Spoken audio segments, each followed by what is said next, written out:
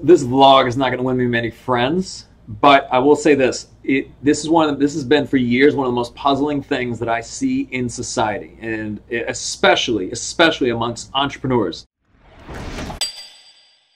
in the sense that you you hear about somebody's ambitions for what they want their future to be what they want their organization to be, what they want, you know, their life to be, all these different things and you say these are the things that I'm committed to and then you look at their decisions.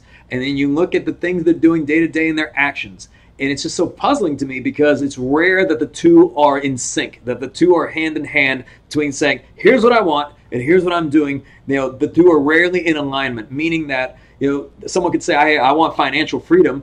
And then when you ask them okay well how much money are you saving? And it's like well i haven't really started yet. Uh, okay well how committed are you to it right? It's you know, it's the same way where, where we look at even you know COVID response, you know, amongst uh, businesses over the last several months, and someone says, "Hey, I'm committed to this long-term vision of growing our business and growing our brand." Oh, really? Well, why is that you cut back all your advertising? Or I'm committed to building a great team and a great culture. Okay, well, why did you furlough half your staff?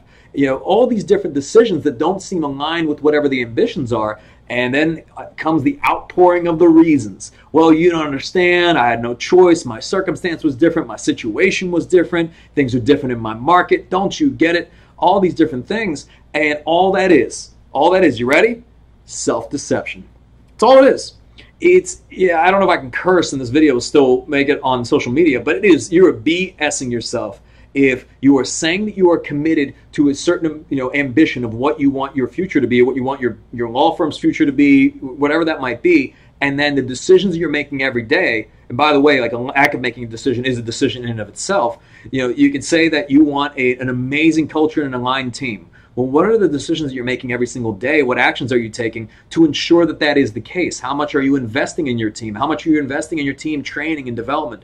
Um, you want to build a, a really strong brand that's going to hold up over the test of time. How much are you dedicating time and resources to building that brand on a day to day basis, maybe even a week to week basis? You want to be the go to firm in your market? Well, why? You know, what are you doing every single day to, to get yourself there?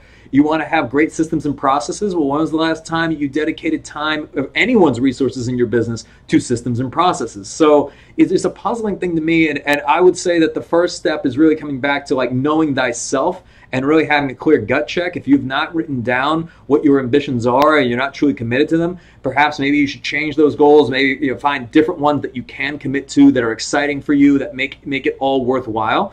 Uh, you know, because the reality of it is, as the saying goes, that the best time to plant a tree was about 100 years ago, but the second best time is today. So anything that you're going to do that's going to make that long-term impact, I mean, you have to consider where you are today is, is a byproduct of all the decisions that you've made up until this point. But where you will be tomorrow is, is, is going to be a byproduct of the decisions that you make going forward. So it's very difficult if you are in a bad, bad, bad situation, you're unhappy with where you are, where your business is, where you are financially, all those different things.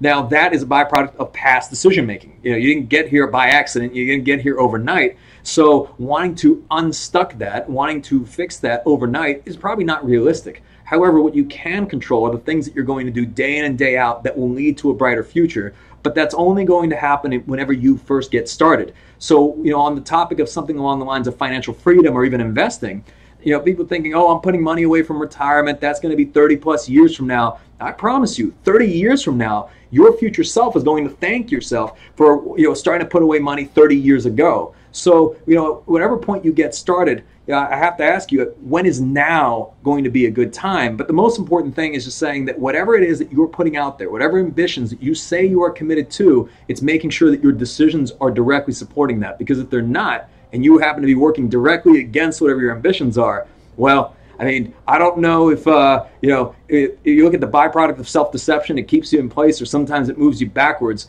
but it certainly doesn't move you forward. So go ahead and plant those trees today if you're truly committed to that brighter future, or you know just keep BSing yourself. You know, at the end of the day, who loses?